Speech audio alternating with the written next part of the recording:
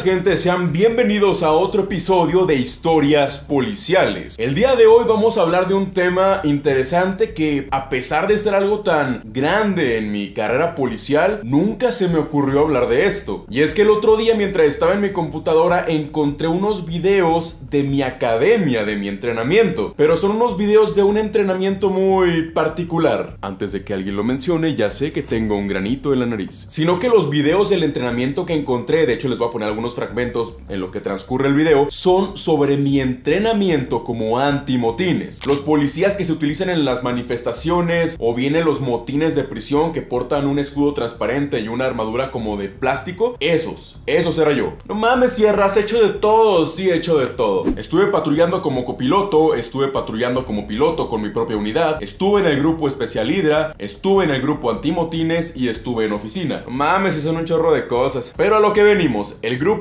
antimotines. Y más que nada de lo que quiero hablar es del entrenamiento que llevamos a cabo para pertenecer a este grupo. Porque este fue uno de los entrenamientos más horribles, tortuosos y, horribles que sufrí en la academia. Porque para todo esto, antes de que nos graduáramos, mi generación fue parte de este entrenamiento antimotines por si acaso llegaba a necesitarse que ya hubiera un grupo especial diseñado para eso, por lo que llevamos a cabo este entrenamiento durante nuestra capacitación para ser policía, ya que muchas veces más bien agarran policías ya graduados que ya tengan antigüedad y los capacitan para ser parte de este grupo. A nosotros no, a nosotros desde la cuna, desde chiquitos, desde que estábamos en la academia, nos inculcaron, miren, ustedes van a ser antimotines. Realmente no estábamos en desacuerdo con eso, era más entrenamiento, era más aprendizaje, éramos cadetes, queremos aprender, queremos saber todo, queremos hacer todo. Tomando en cuenta también que nuestra academia duró un año y medio de entrenamiento,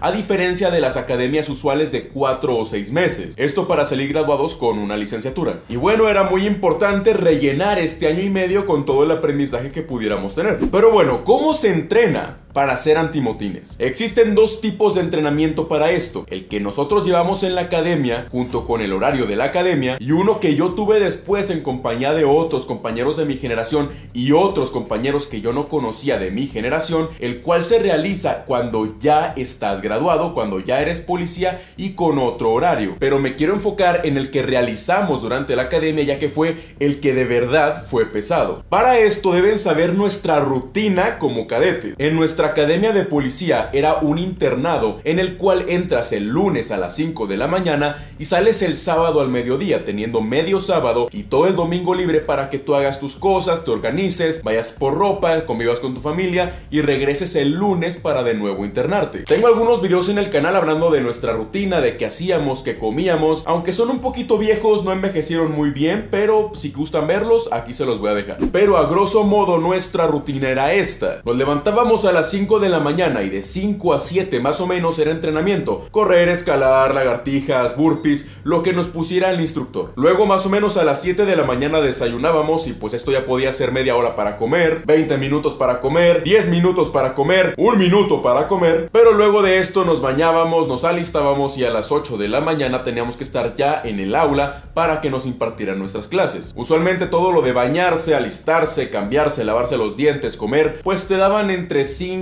y 15 minutos, lo cual pues tienes que apurarte porque tienes que cambiarte, tienes que bañarte, tienes que lavar los baños y secarlos. Es una rutina que siempre, siempre estás acelerado. No crean que, ah, tengo media hora para alistarme. No. Luego tomábamos clases más o menos de 8 de la mañana a 1 de la tarde y de 1 de la tarde a más o menos una y media nos disponíamos a comer. De igual manera, entre media hora y un minuto para comer, dependiendo de cómo sea la disciplina ese día. Luego de esto volvíamos a clases y más o menos a las 2 de la tarde volvíamos las clases y terminaban hasta las 5 o 6 de la tarde. Luego de las 5 o 6 de la tarde nuevamente tocaba entrenamiento, el cual se extendía hasta las 7, hasta las 8, a veces hasta las 9. Y luego procedíamos a ir a cenar y teníamos que estar en los dormitorios a las 9, 9 con 5 para luego dormir. Me estoy brincando muchos pasos, muchos detalles, muchas lagartijas, mucho correr, mucha disciplina, pero básicamente ese es nuestro horario. Cuando nos tocaba entrenar era ir hasta los dormitorios, el cual estaba a unos 5 minutos marchando porque no caminas, marchas ahí, te cambias a ropa de deportes, sales en el tiempo que te haya dicho el instructor, si te dio dos minutos para cambiarte, te cambias en dos minutos, si te dio un minuto para cambiarte, te cambias en un minuto y luego ya íbamos a entrenar. Terminando los entrenamientos, llegabas a los dormitorios nuevamente y el instructor te daba 1, 2, 5, 10, 15 minutos para que se bañen, para que todos se cambien con el uniforme, para que limpien los baños, para que los sequen y que todo quede impecable para irnos a comer, a cenar o a desayunar. Bueno, pues desde aquí comenzó el entrenamiento antimotines. Si bien nuestras primeras clases fueron teóricas y les hablo desde los primeros dos días, fueron bastante peculiares. El instructor llegó con un montón, un montón de armaduras antimotines y teníamos que encontrar cuál nos quedara bien porque esa sería nuestra pieza de equipamiento para todo lo que duraba nuestro curso. Ya que todos tenían la armadura que más o menos les quedaba bien porque pues oye me queda mal este brazo, te lo cambio y me queda mejor. Fue un cambalache hasta que todos estuviéramos cómodos. Fue entonces que comenzaron las clases. Nuestra armadura se componía por las siguientes partes. Espinilleras que también cubren el pie, un peto de material acolchado y rígido que es incluso más voluminoso que mi propio chaleco, el cual no es pequeño, hombreras que también te cubrirían parte del bíceps y del tríceps, protección para los antebrazos y las manos, y finalmente un casco antiarmas traumáticas, el cual posee una mica transparente bastante gruesa, con un mecanismo muy similar al del casco masca, una visera que se baja y se encaja en su lugar para que tú la puedas desplazar en cualquier momento y te proteja el rostro. Todo este equipo no es tan pesado, pesarán entre 7 y 11 kilos, los cuales están distribuidos en todo el cuerpo, a diferencia de un chaleco balístico, el cual pues se resiente mucho en la espalda porque todo el peso está en tu torso. A lo mejor lo más pesado sería el casco de unos 3 kilos, pero bien ajustado a la barbilla realmente no te ocasionaba problemas. Pero todo este equipo era bastante voluminoso y estorboso. Cada pieza más o menos era así de gruesa, haciendo que la movilidad sea bastante más complicada por el simple aumento de volumen y que no puedes maniobrar como si no trajeras nada puesto. Cosas como agacharse, saltar, recoger algo del suelo, se volvía bastante complicado, pero pues era el hecho de acostumbrarse y saber cómo moverse para poder volver a tener la agilidad de no traer nada puesto. Oh, pero eso no era todo, no. Nos faltan dos piezas bastante importantes en este equipo. Uno de ellos es el bastón policial Tonfa o PR24. Ese es el mío, ese es el que de hecho usaba en los entrenamientos. Este bastón tiene 7 años y pues lo he utilizado para varias cosas. Tiene bastante bastantes historias. Este bastón va en tu cinturón en una argolla especial, el cual, si bien se puede agitar un poco cuando corres, solo es cuestión de ponerle la mano encima y ya no te estorba para nada. Pero lo que sí estaba realmente pesado y estorboso era el escudo. No tengo un escudo antimotines en mi casa, me gustaría tener uno, claro que sí. Los escudos que nosotros utilizábamos medían un metro veinte por un metro. Hay muchas medidas, hay muchos modelos, pero este era el que nosotros utilizamos. Nuestro escudo estaba hecho a base de policarbonato balístico, el cual es capaz de resistir algunas rondas calibre .22 y creo que también nos mencionó que 380, pero más que nada está diseñada para resistir ataques contundentes y cortantes y desviarlos, así como resistir y no romperse. Bueno, pues este escudo pesaba más o menos 5 kilos. Quiero que tengan ese dato en cuenta, porque si bien no es muy pesado, la manera de entrenar lo hacía pesado. Nuestra primera tarea en los siguientes días, donde ya no vimos teoría, fue aprender a ponernos y quitarnos todo este equipo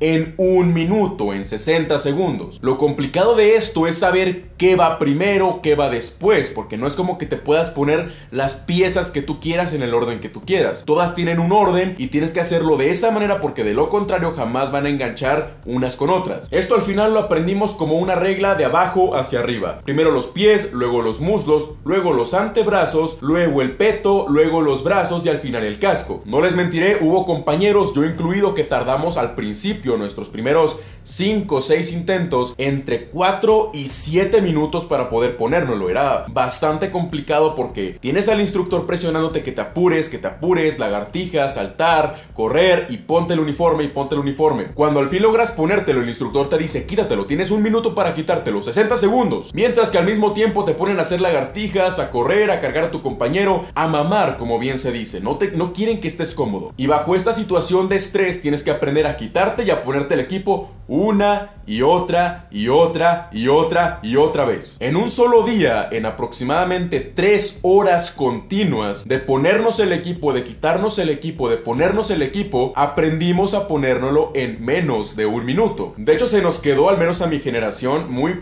muy pegado en la piel cuando el instructor llegaba al aula y nos decía, pónganse el equipo, quítense el equipo, pónganse el equipo.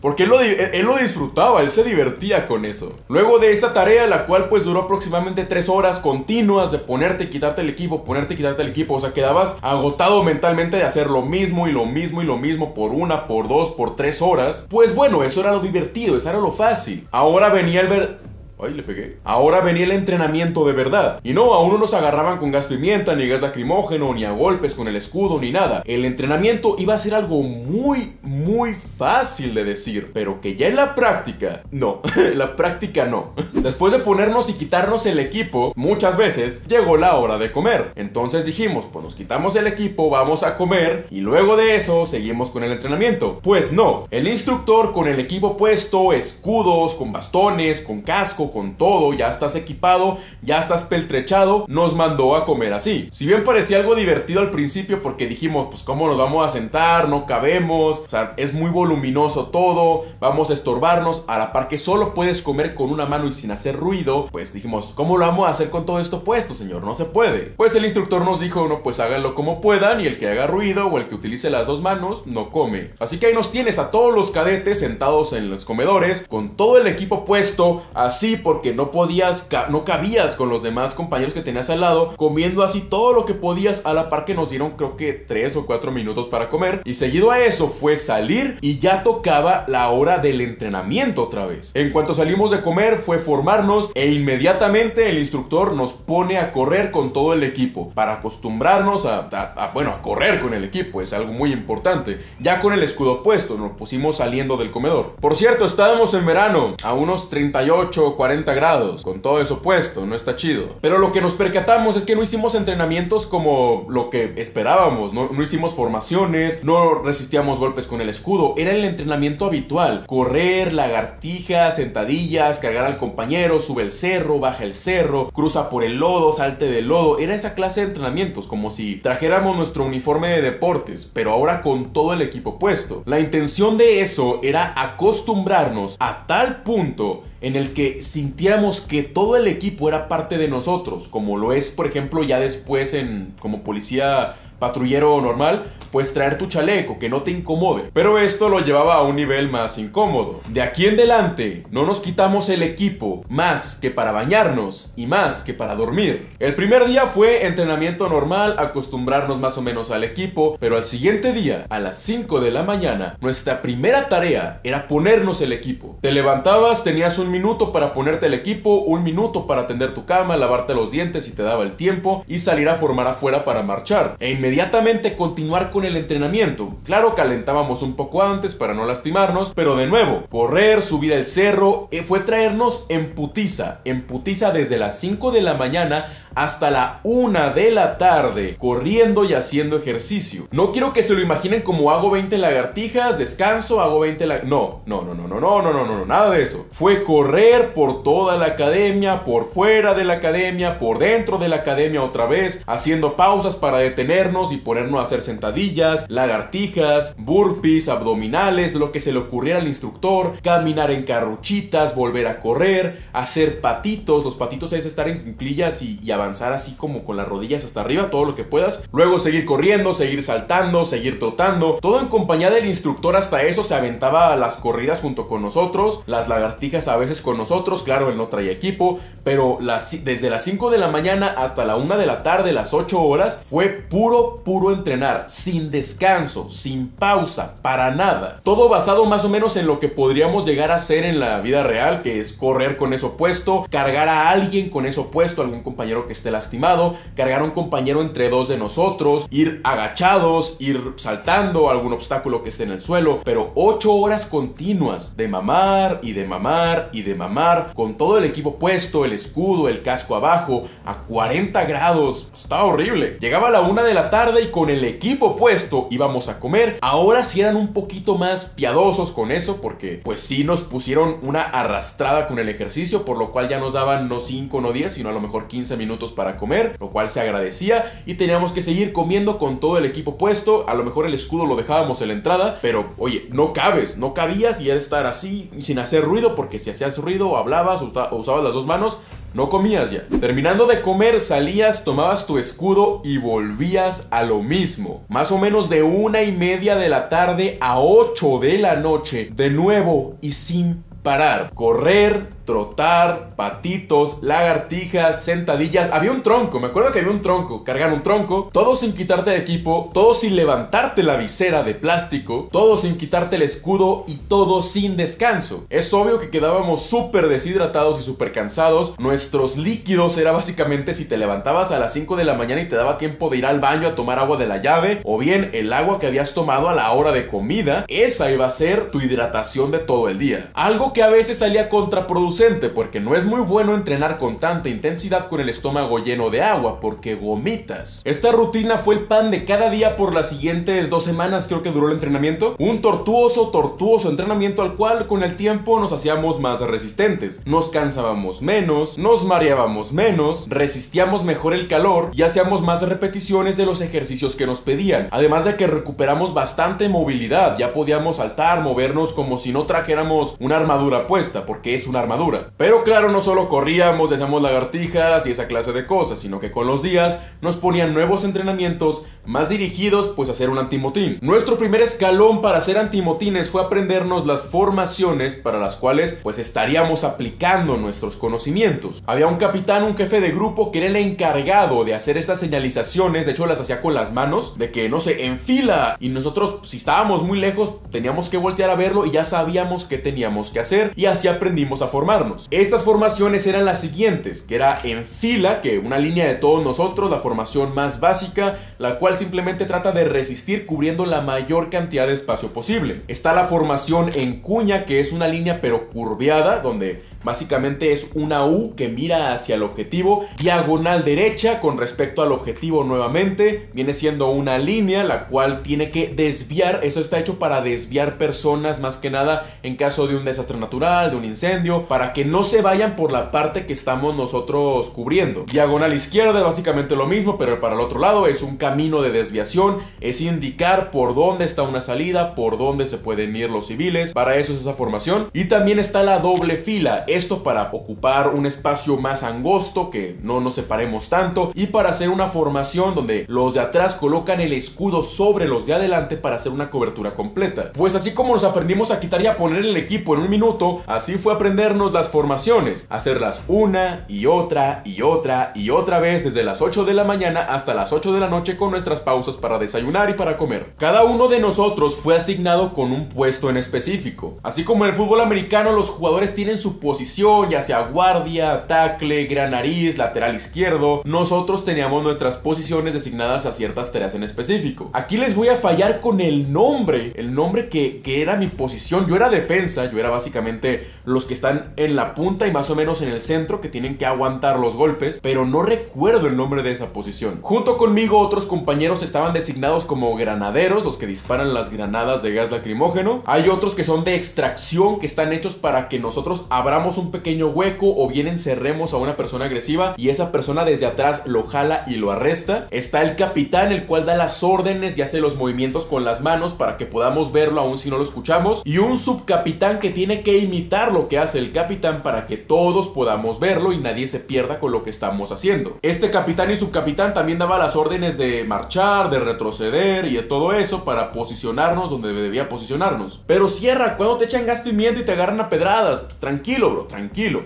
Ya llegaremos a eso. Luego de aprender dichas formaciones, las cuales, pues igual, imagínense estar marche y marche durante 8 horas seguidas, luego comer, luego otras 8 horas seguidas, pues es pesadito. Este mismo entrenamiento de aprendernos las formaciones, pues era acompañado de disciplinas si nos equivocábamos, si tardábamos más, porque para eso tienes que hacer la formación más o menos en un índice de 13 a 22 segundos. No tienes todo el tiempo del mundo para hacer la formación, acomodarte bien, quedar bien alineado. No, no, no, no, no. Tienes que hacerlo con, con un número de pasos con un número de pasos para que todos queden en posición. Dígase, por ejemplo, que nos mandan a hacer una línea recta. Bueno, para eso nosotros venimos en formación, venimos formados en líneas de 2 o de 3 y nosotros ya sabemos cuántos pasos teníamos que dar. Los de enfrente a lo mejor 7, los de atrás 14, los de hasta atrás 23, para quedar en cierta posición al lado de tal y de tal compañero. Bueno, pues si te equivocabas, todos, todos tenían que hacer lagartijas, sentadillas, abdominales, una vuelta corriendo, dos vueltas corriendo, les abro de vueltas de 1, 2, 3, 4, 5, 6 kilómetros y pues básicamente tenías que hacerlo bien, tenías que hacerlo bien si no querías que luego te pusieran a mamar.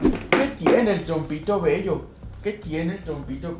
Topito está chiple y otra vez me está rascando la pierna para que lo suba. Entonces aquí lo vamos a tener un ratito. Se acaba de despertar, eh. Está de, está de flojón el día de hoy. Viene la cara. Ay, mira, tienes sueño todavía. Para hacer estas formaciones tenías que quedar completamente bien alineado con tu compañero. Y los escudos tienen que emparejarse el uno con el otro. Para que no quede ninguna fisura entre ellos. A la par que sacas tu bastón policial y lo sostienes en esta posición. Otro detalle que olvidé mencionar es que el escudo en todo momento, en todo entrenamiento, en todo momento en el que tuviste el uniforme puesto, va así, va con el bíceps flexionado. No lo podías bajar, siempre aquí cubriendo todo tu lateral izquierdo. En todo momento, 8 horas, 16 horas al día con un descanso que era para comer. Siempre así y eso era pues bastante agotador. Entonces tenías que llegar con tu brazo que ya estaba cansado de tantos días de estar entrenando y que tu brazo siempre estuviera así sosteniendo 5 kilos de peso. 5 kilos no es mucho, pero sosténlo durante 5 minutos, durante 10 minutos, durante una hora durante 6 horas. Es horrible. Entonces tenías que llegar con tu escudo, embonarlo con el de tu compañero, evitar que hubiera cualquier entrada, cualquier salida para que quedara como una coraza. Y con tu bastón hacías esto. Eso te ayudaba un poquito a descansar tu brazo porque te apoyabas con el brazo derecho. Pero oye, wow, eh, no, cuánto descanso. Y es que una cadena se rompe por el eslabón más débil. Si había una fisura, si había una entrada, si había la posibilidad de que alguien metiera la mano y jalara un escudo, jalara un elemento, te quitaran tu bastón o entrara ahí un un arma, un bat, una piedra, pues bueno, por ahí se iba a romper la formación. Todos teníamos que hacer nuestro movimiento igual para que al final diera el mismo resultado de una pared donde por ningún lado se podía entrar. Y ya cuando nos salía bastante bien, más o menos al cuarto día más o menos del entrenamiento, ahí comenzó el infierno de verdad. Nuestra primera experiencia con gas en este entrenamiento fue algo bastante sencillo. Nosotros ya sabíamos cómo era el gas pimienta porque en la misma academia te ponen a desarmar y armar tu arma gaseado con gas pimienta o bien a arrestar a alguien o hacer un procedimiento mientras tienes los ojos y la cara llena de gas. Entonces ya, ya sabíamos más o menos a lo que íbamos. No estábamos tan asustados, pero con todo el sudor, todo el equipo puesto, el cansancio, sí dijimos, oye, esto a lo mejor va a estar difícil. Pero en realidad no fue tan así. De algunas cosas tengo videos, de otras cosas no, y se los voy a poner yo conforme vaya pasando la historia. Lo primero fue que hicimos unas formaciones bastante normales, mientras el instructor con un gas pimienta o dos, normalitos, pasaba rociándolos entre nosotros, pero al piso, al aire, no a ti directamente, pues como pasaría con una nube de gas lacrimógeno, como para acostumbrarnos. Si bien, claro, con la visera abajo, con el calor y que entra el gas y ya no puede salir a ningún lado, nos irritó los ojos,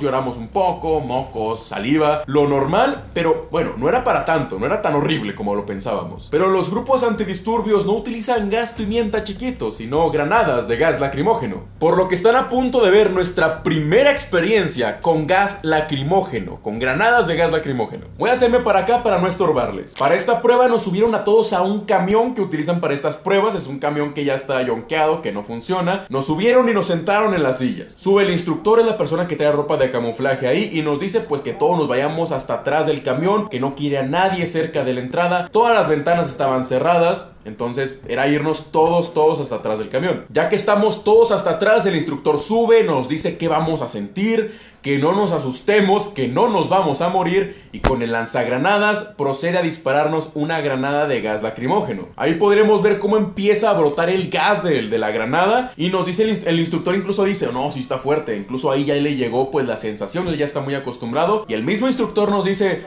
Todos para atrás, todos métanse a la nube de gas. Les recuerdo es nuestra primera experiencia con gas lacrimógeno y pues pasó lo que tenía que pasar. Surgió el caos, todos querían salir, hubo alguien saliéndose por el techo y lo están viendo. Gente se quiso salir por las ventanas, pero con todo el equipo no cabíamos y ahí no, ya, no aguantaron muchos. Este, se comenzaron a salir. Les digo, pues es normal, ¿no? Es, parte del entrenamiento aprender. Todos comenzaron a salir. Yo todavía no salgo. Ahí, ahí voy yo, ese soy yo, eso soy yo. Ahí salgo yo, sale mi compañero, sale el último compañero y nos ponen a, formar. Después de eso ya nos dicen, oigan, pónganse a formar, pónganse a marchar, pónganse a hacer lagartijas. Porque bueno, en realidad, ahí estamos agonizando todos. Porque en realidad pues fallamos, fallamos el entrenamiento, fallamos, nos salimos. Recuerdo muy bien que para ese primer entrenamiento con el gas lacrimógeno, pues yo estaba sentado en el penúltimo asiento del lado derecho en el asiento pegado a la ventana. Y lo que hice fue que me hice bolita. Me dije, voy a preparar para lo que sea, voy a aguantar aquí hecho bolita. Si me muero aquí me voy a morir. Mientras yo estaba así hecho bolita, yo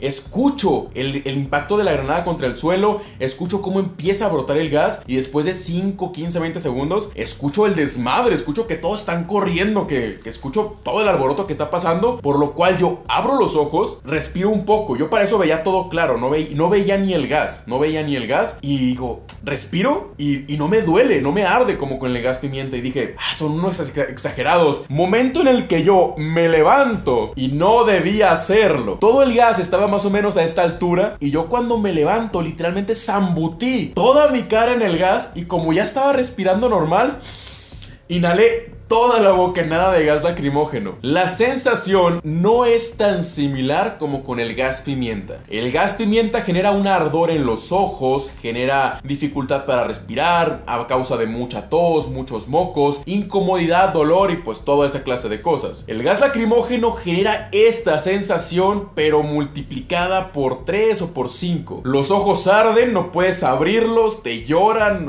es una completa sensación de que se te van a quemar, que te vas a quedar ciego y además la dificultad para respirar no es tanto por tos o por incomodidad o por moco, sino que literalmente tu garganta se cierra. Tú respiras normal y de repente ya no te entra el aire, no puedes respirar, no puedes. Sientes que te vas a morir, piensas, oh no, soy alérgico a este gas, este gas reaccionó mal conmigo, me voy a morir aquí. Aunque quieras respirar en el gas, no puedes, no puedes, es imposible, ya, dentro de la nube no puedes respirar ahí. Si bien creo que fui uno de los últimos en salir, me, me amarré, dije, no, yo de aquí no salgo, yo de aquí me muero. Llegó un punto en el que la agonía, su, conforme también el dolor de la piel, el dolor de los ojos, la nariz, la garganta, porque duele, duele mucho más y con el gas pimienta, te gana, te gana. Dices, no, tengo que salir de aquí porque si no, sí me voy a morir de verdad. Ya fue cuando yo salí agonizando sin poder respirar. Traté incluso, me acuerdo que traté de abrir la ventana de, de mi lado para tratar de sacar la cabeza, pero no pude. Entonces ahí pensé yo, estoy gastando oxígeno en hacer esto, ¿sabes qué? Mejor me paro, bye. Por fallar esto, pues obviamente nos pusieron a hacer lagartijas, nos castigaron horrible. Fue correr, correr y correr. Así gaseados, ¿eh? O sea, no crean que, ah, váyanse a lavar la carita con jabón. No, no, no. Así gaseados, correr y correr y el sudor, el agua, vuelve a activar el gas que se te queda seco en la piel. O sea, ese día lo pasamos fatal. Fue divertido, fue divertido. O sea, ahorita es divertido, pero en ese momento estábamos pensando en hasta darnos de baja. Luego de esto vinieron más entrenamientos con gas, con gas pimienta, con gas lacrimógeno, donde la idea era acostumbrarnos al mismo, porque siempre que utilizas gas pimienta, gas lacrimógeno, tú vas a acabar rociado en cierta medida, por lo cual tú,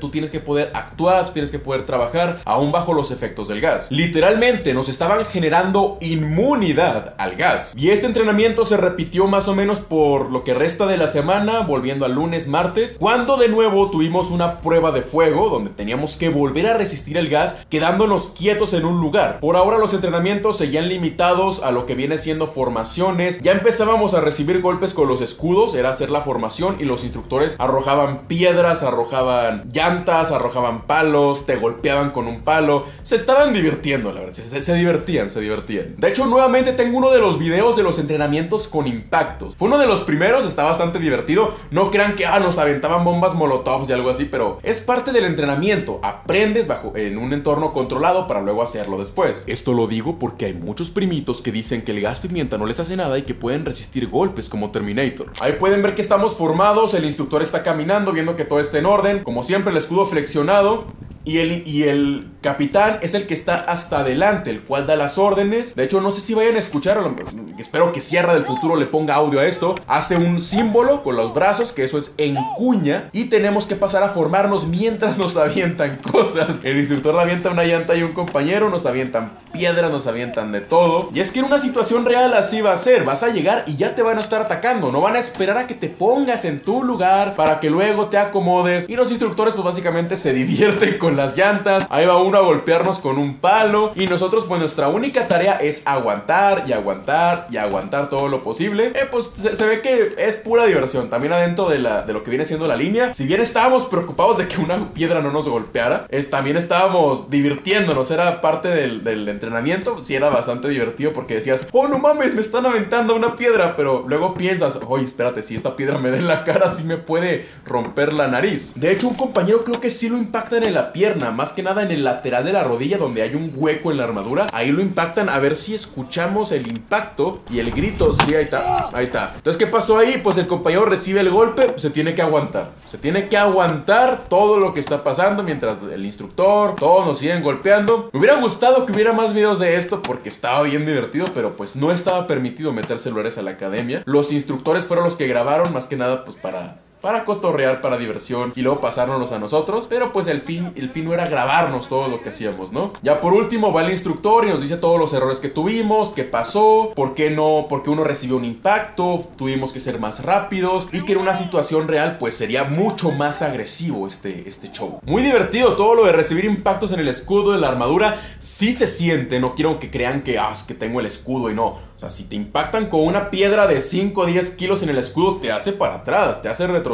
Igual si te pega en la armadura de las piernas, de los brazos o en el casco, algunos les cayeron pedradas en los cascos, se siente el golpe. O ponte un casco y date con un martillo, te va a doler de todos modos, pero tienes que soportar y tienes que aguantar para que la formación no se rompa. Un factor muy importante a vencer aquí es el miedo, el miedo a que te peguen, el miedo a que te lastimen. Tienes que confiar en los compañeros que tienes al lado para que, porque ellos te van a cuidar y tienes que brindar la protección porque que ellos también esperan que tú los cuides. Si te da miedo, si retrocedes, van a lastimarte a ti y van a lastimar a tus compañeros. Entonces tienes que tener la voluntad de no moverte del lugar. Entonces si mezclamos todo lo que ya mencionamos, tenemos entrenamientos desde las 8 de la mañana hasta las 8 de la noche, con todo este equipo puesto. Entre esos entrenamientos te echaban gas pimienta o gas lacrimógeno y además tenías que hacer las formaciones y luego te impactaban con cosas, te golpeaban para que resistieras los golpes. Todo esto con poca hidratación, todo esto con lo que alcanzaras a comer con todo el equipo puesto, porque pues era difícil comer con todo esto puesto. Cabe mencionar que no había días de descanso. Como saben, si vas a hacer ejercicio, haces un grupo muscular, luego lo descansas para que el músculo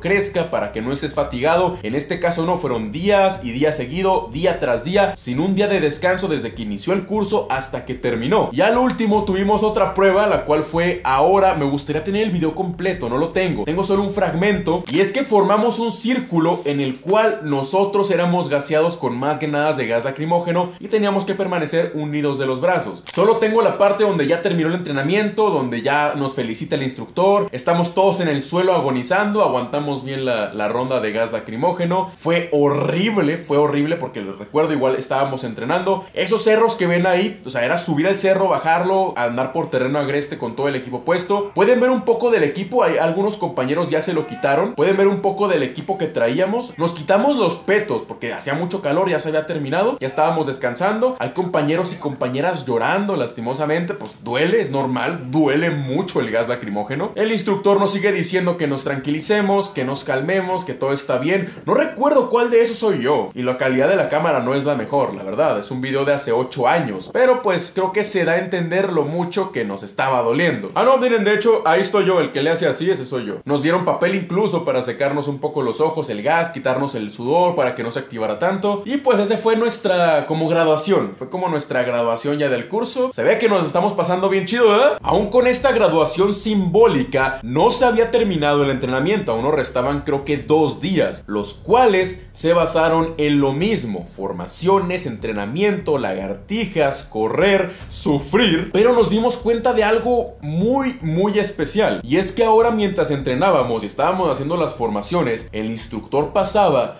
te subía la visera, te echaba gas pimienta en la cara y te cerraba la visera de golpe, pero ya no nos hacía nada. Desde ahí en adelante nosotros generamos inmunidad al gas pimienta, al gas lacrimógeno, la cual si bien se puede ir perdiendo con el tiempo, yo la traté de conservar porque el gas pimienta era parte de mi equipo de la policía, pues te acostumbras a no perder esa sensación de dolor y a tolerarla completamente. No es como si te echaras el gas a ti mismo para que, oye, así ya no me va a doler en el futuro, sino que el poco rocío que te llega a caer te sigue acostumbrando a lo que es la sensación de la capsaicina. Por eso, de hecho, en mi otro video donde me gasean con gas pimienta, pues tengo la capacidad de explicar los síntomas y cómo se siente y cómo duele aún mientras estoy agonizando. Pero sí, para este punto el gas ya no nos hacía nada, nada, nada, nada. Si mucho, escuché unas toses. Alguien tosió. Esto igualmente no quitaba el dolor del entrenamiento. El dolor muscular para este punto era agonizante. Ya no podías, el brazo que siempre traía el escudo, el bíceps lo traías quemadísimo. No podías estirar el brazo ya. Era un entrenamiento horrible en los hombros, en las piernas. Todo el cuerpo estaba molido. Yo empecé el entrenamiento pesando 82 kilos y terminé pesando 76. No sé cómo bajas 6 kilos en dos semanas. Digo, la falta de alimento, el entrenamiento de 16 horas al día, la deshidratación, pues sí es un factor importante, pero no sabía que se podía. Si la báscula estaba rota o lo que sea, oye, igual 4 o 5 kilos, porque otros compañeros bajaron entre 4 y 5 kilos, pues es bastante peso para tan poco tiempo. Al final de todo esto, pues bueno, somos antimotines, en caso de que nos necesiten, nos iban a hablar, nos iban a activar a nuestra generación para atender el problema que se estuviera suscitando. Fue una experiencia muy bonita que no quiero repetir por nada del mundo, fue divertido. Luego de esto, a mí, a un par de compañeros de mi generación y básicamente más policías que eran más nuevos o más viejos que yo, en conforme avanzábamos, seguimos acudiendo al grupo antimotines, seguíamos entrenando, aunque era un entrenamiento bastante más tranquilo, ya no estaba el instructor anterior. Esto básicamente porque un cadete murió. Así es, un cadete falleció durante el entrenamiento, una insolación, un paro cardíaco, un golpe de calor, pues acabó con su vida, esto aproximadamente hace 5 años. Después de esto bajaron la intensidad del entrenamiento ligeramente, ya no era tanto sol, porque pues bueno, el golpe de calor es muy peligroso, la insolación, la fiebre, y más que nada fue entrenar las formaciones, volver a recibir algunos impactos, volver a repasar cómo ponerse el equipo para que no perdiéramos la práctica.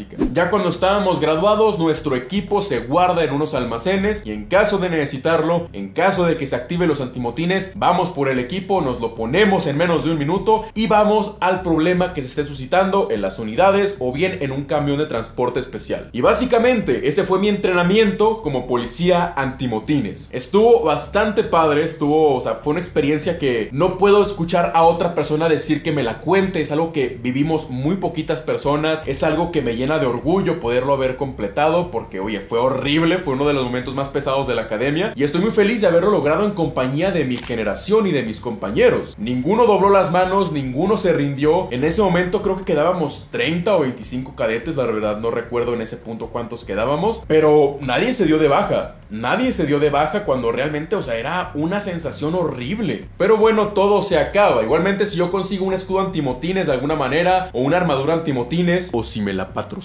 yo estaría súper feliz de hacerle un video de poniéndomela cómo se pone, cuánto daño llega a soportar, tratando de romperla con todo lo que pueda. Pero bueno, eso es una idea que tengo más bien a futuro. Y bueno gente, hasta aquí dejaremos el video de hoy. Espero que te hayas entretenido y hayas aprendido algo. Recuerda que si te quedó alguna duda puedes dejármela en los comentarios y yo la contestaré con gusto. Te dejo mis redes sociales para que no te pierdas información táctica y fotos de perritos y mi enlace a la plataforma morada, donde me gusta hacer directos jugando con ustedes.